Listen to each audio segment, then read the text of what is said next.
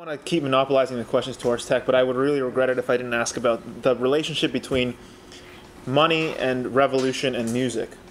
So my sister's a classical musician, and, and one of the things she tells her boyfriend when he neglects to listen to the message in music is every revolution has the music behind it, right? Every revolutionary movement has sounds and, and culture that come into it.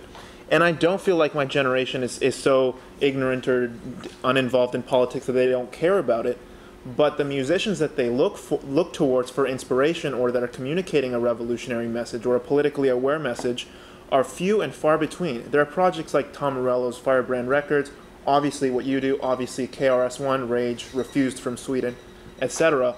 But the vast majority of the sort of progressive liberal elite musicians, which I think a lot of us are thinking of certain names right now, um, they do not communicate the type of message that I think most uh, most of us as consumers and as listeners of music would want to hear.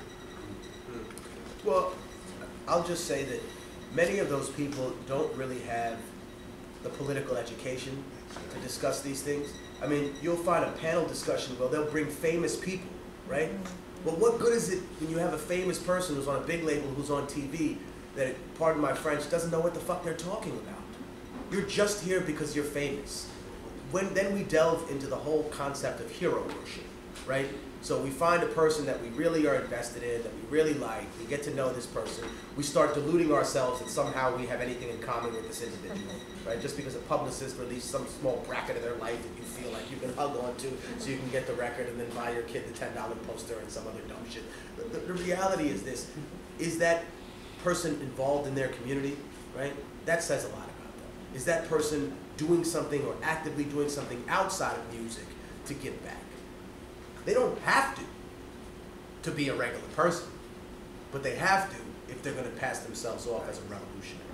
That's the difference. See, uh, you, you want to be a scumbag, you're welcome to be that. But then when you try to come back in, you know, you got to do more than wipe your feet when you come back in my house.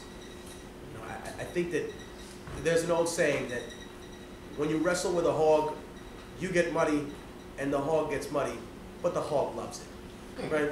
So when, when you talk about these, these wild media frenzies, these people are just trying to be in the spotlight for anything, for any reason. Is it a sex tape? Did you get shot? You know what I mean? Is, is, is your mom's dating an NFL player? And what the, you know what I mean? The most outlandish, the more insane, the better.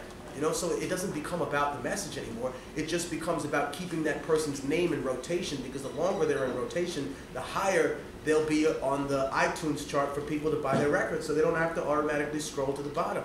That has to do with the capitalist principle of um, co-op marketing, right? Co-op marketing is a very simple principle. Uh, if anyone's ever been to any supermarket to get food, just remember that the food that's located at three feet to five feet paid to be there more than the food that's located from three feet to one feet, right? It's not that when you go to a record store that you're, you, the, the, owner's favorite artist is in the front. No, it's doublehead. That's not why the world works that way. No, it's because some dude paid an extra 50 cents from every record that he has to have it there. So a lot of this isn't based on morality. It's based on exposure. People aren't really going to start a black power movement, right? Otherwise, they would be doing an entirely different thing. You know, they wouldn't be doing tax write-off donations. They would be changing the, the message that they have or the appearance or, or whatever it may be.